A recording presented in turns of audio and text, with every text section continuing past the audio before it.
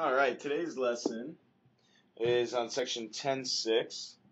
Uh, it's pretty much a continuation of 10.5 with like one more thing thrown in. So it's absolute values of products in open sentences. So absolute values of products in open sentences, and again, I'll just change that to in uh, inequalities. Qualities. Um, so last time on the videos for 10.5, I talked to you about the two different techniques in um, solving absolute values in open sentences. And the first one I told you had to do with making an and or an or statement and showing the boundaries and then solving for the variable. The second one we talked about um, saying talking about distances and the distance between x and the thing, um, you know, is less than or greater than some number. Um, I find that the second technique I talked about last time makes this section way more complicated than it needs to be. Um, so I recommend using the first technique. I'll show you what I mean. Uh, so let's do an example number one. Uh, it says 2x plus 1, absolute value of 2x plus 1 equals 5. Um, using the first technique I showed you, um, all you do is, in this case, we have an OR statement, 2x plus 1, notice I'm removing the absolute value, equals 5, or 2x plus 1 equals negative 5. Because that's what the absolute value does. It says, well, if something was negative, make it positive. So 2x plus 1 could have equaled negative 5, but those absolute values are making it positive. Um, so on the left side, if we subtract 1, we get this, and then we can divide by 2 and we get this. On the right, uh, on the right of the OR statement, we can subtract 1. And what's going on here? Some technical difficulties. Okay, we're back online. So we can subtract 1 and get negative 6, divide by 2, get negative 3, and again, we are graphing these. So we have a 2 and a negative 3, maybe we have a 0 in there somewhere. And the graph of that looks like this. Um, pretty simple using the first technique I showed you last time. Um, moving on, if I had one that looked like um, 3k minus 2, absolute value of 3k minus 2 is less than or equal to 7 First, we would make our and or or statement.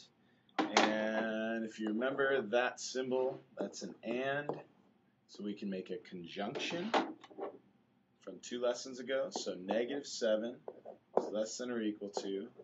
And again, when we make our conjunction, that lets us not use absolute value anymore. So we have these two um, boundaries. Now we're going to add 2 to both sides sorry, all three sides. So used to saying both sides. Um, now we're going to divide both sides by 3. So we get negative 5 thirds, less than or equal to k, less than or equal to 3. Um, graphing that, we have our boundaries of negative 5 thirds, that's about, what, negative 1 and 2 thirds. Got a 3 over here, a zero somewhere.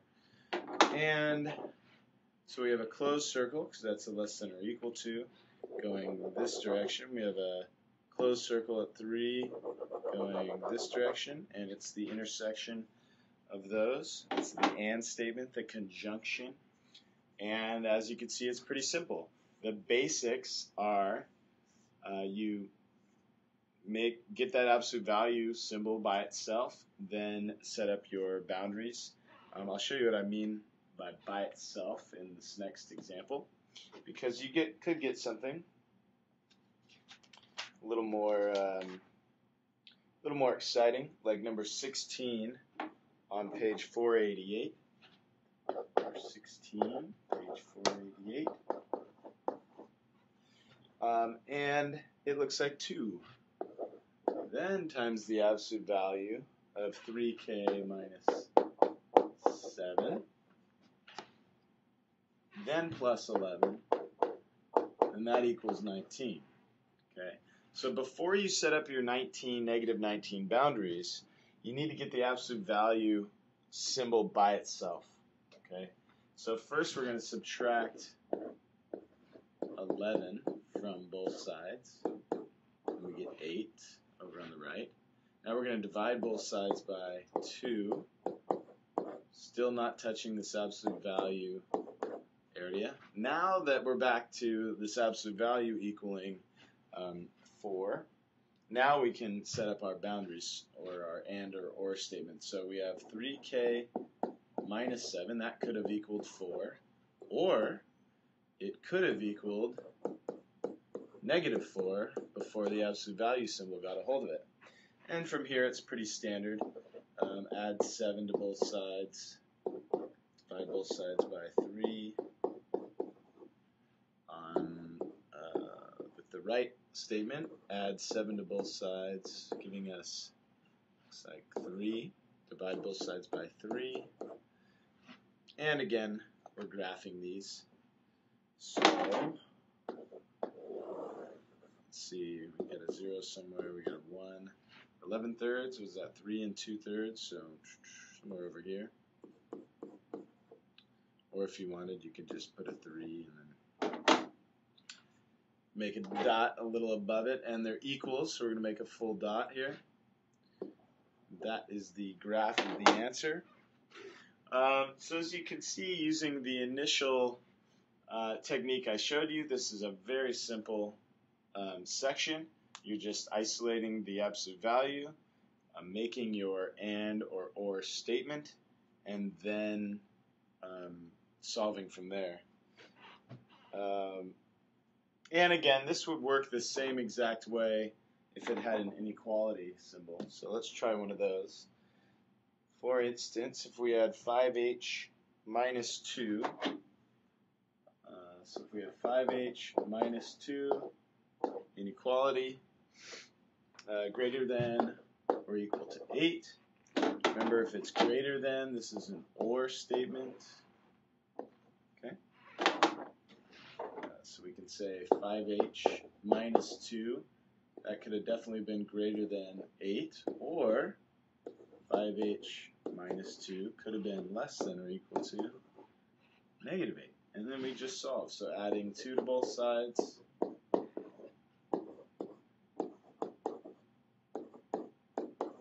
dividing both sides by 5.